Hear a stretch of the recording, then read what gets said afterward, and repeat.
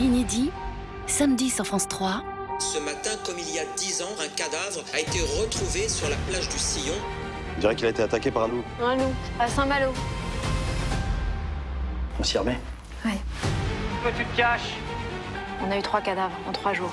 Ça peut pas être une coïncidence. Cet animal a été dressé pour tuer. Il faut garder la tête froide. On n'a pas affaire à un chien fou. Ça doit être un meurtrier. On va tous nous tuer, un par un. Faut réagir maintenant. Tout ce que je veux, c'est éviter qu'il y ait d'autres morts. Dix ans après, nouveau meurtre à Saint-Malo pour Louise Monod et Bruno Solo. Samedi à 21h10 sur France 3 et sur la plateforme France.tv.